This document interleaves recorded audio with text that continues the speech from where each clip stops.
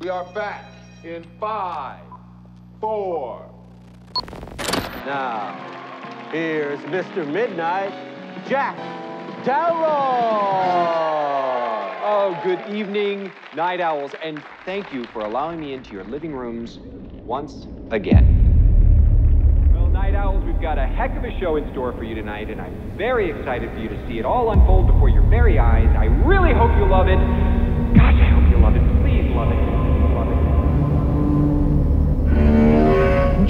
To host a nationally syndicated talk show. And I'm trying to help you keep it on the air.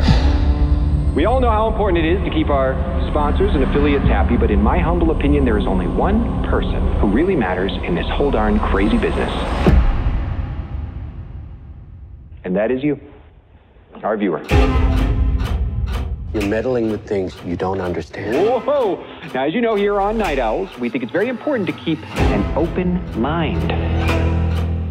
Please welcome Dr. June Ross Mitchell and Lily, the young subject of the book, Conversations with the Devil. I really don't think it's a good idea, Jack. She's becoming more unpredictable. That's a good thing. That's why we still do live TV. Ladies and gentlemen, please stay tuned for a live television first as we attempt to commune with the devil.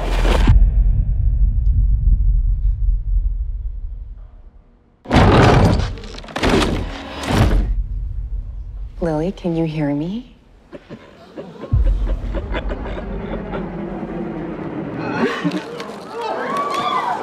To see you again, Jack. Lily, return to me. This isn't about ratings anymore. No one's going anywhere. How could you let it happen, Jack? How could you let it happen? Please be warned, anyone with young children in the room. What you're about to see is You okay, Jack? It's profoundly disturbing and shocking. You get out there, Mr. Midnight. And you knock him dead.